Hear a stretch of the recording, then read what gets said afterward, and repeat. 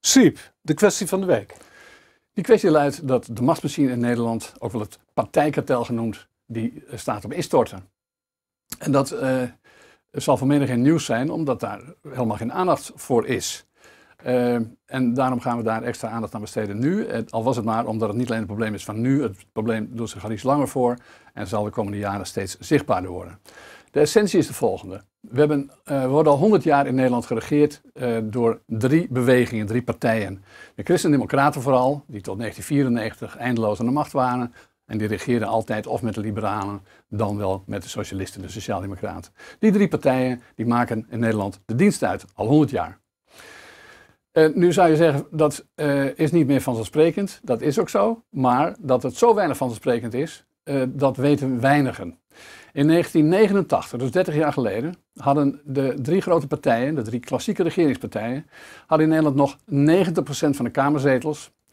En nou, dat werd algemeen en normaal gevonden. Inmiddels hebben we net de statenverkiezingen achter de rug en toen waren er nog maar 36% van de kiezers voor een van de drie partijen, een van de drie klassieke regeringspartijen.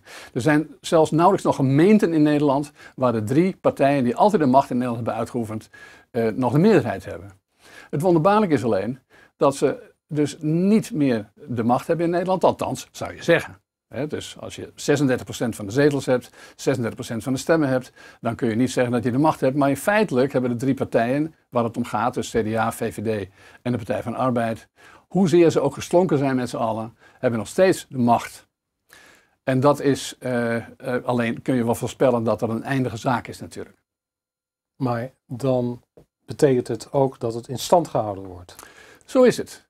Uh, we hebben een systeem in Nederland, een staatsinrichting die maakt dat, dat, partijen die aan de macht zijn geweest, in dit geval dus partijen die een eeuw lang aan de macht zijn geweest, dat die, uh, ondanks het feit dat ze lang geen meerderheid meer hebben, ook in de Tweede Kamer hebben ze minder dan 40% van de stemmen, feitelijk nog steeds de macht hebben, omdat wij allemaal van die benoemde functionarissen hebben. We hebben geen staatshoofd dat gekozen wordt.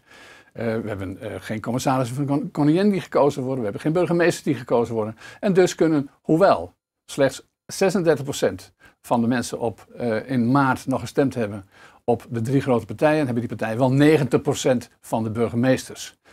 Dus bijna iedere Nederlander woont in een gemeente die geregeerd wordt, of in ieder geval als een burgemeester regeert, geregeerd wordt door een burgemeester uh, die van een van de drie grote partijen is. En anders is het wel van D66, de partij die al 40 jaar, 50 jaar een beetje regeringpartij mee is. Uh, en dat geldt natuurlijk ook voor tal van andere functies. We hebben het over de Sociaal-Economische Raad. We hebben het over besturen van omroepen. We hebben het over de Raad van State. Kijk dan de Raad van State. Wie zit er in de Raad van State? Dat is het belangrijkste adviesorgaan van, van de Nederlandse overheid, van de regering. Ook weer dezelfde mensen van diezelfde politieke partijen. Ze hebben met z'n allen uh, als je kijkt naar het ledental van de politieke partijen, dat is al heel weinig in Nederland, maar zelfs het ledental hebben ze amper een derde van het totale ledental van de politieke partijen, maar wel de macht. En dat komt dus door het stelsel dat een vertragende werking heeft en waardoor ook bij de Haagse journalistiek het vaak niet duidelijk is dat het hele machtsmachine systeem op omvallen staat. Want er komt natuurlijk een moment dat het uitstelmechanisme niet meer werkt. Er komt een moment dat het uitsluiten van anderen dan van deze drie partijen voor functies als burgemeester niet, niet meer werkt. Want echt, neem van mij aan, we mogen dan wel een soort van gekozen eh, burgemeester hebben in die zin dat gemeenteraden mogen voordragen wie ze willen hebben. Maar er zit altijd nog een commissaris van de koningin tussen, eh, die dan eh, iemand terzijde schuift die die liever niet heeft, van die is niet van de juiste partij. Of hij draagt uiteindelijk een, een voorgedragen kandidaat niet voor omdat hij niet tot de machtsmachine behoort. Al deze mechanismes die zijn aan het kraken en hoe het afloopt, ja, eh, dat is onduidelijk. Maar het is natuurlijk duidelijk dat dit niet stand kan houden. Het kan niet zo zijn dat een minderheid aan politici eindeloos aan de macht kan blijven, ondanks het feit dat het fundament ontbreekt. Maar wat uh, denk je, wat, uh, hoe lang gaat dat nog duren? En hoe ziet het er dan ook uit?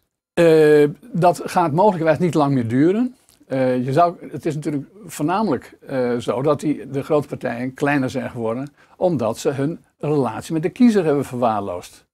Uh, dat is trouwens niet alleen in Nederland zo, ook in andere landen zie je hetzelfde fenomeen. En dus wat dan heet, wat vroeger de concurrerende partijen waren, of de zuilen, dat is nu allemaal middenpartijen geworden. ze gaan prat op het feit dat ze zo fijn coalities kunnen sluiten, maar hun, hun, uitstraling uh, is verdwenen. Hun aandacht voor, laten we zeggen, multinationals of voor het klimaat is groter dan die voor de burgers. En dat moeten ze allemaal, daar worden ze op afgerekend. Dat kan dit jaar nog gebeuren, dat kan volgend jaar gebeuren. Maar in ieder geval voorspel ik dat de komende jaren het kasteel gaat eroderen, om niet te zeggen imploderen. Dankjewel.